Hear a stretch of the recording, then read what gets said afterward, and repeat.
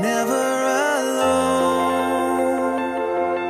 You're a good, good father. It's you.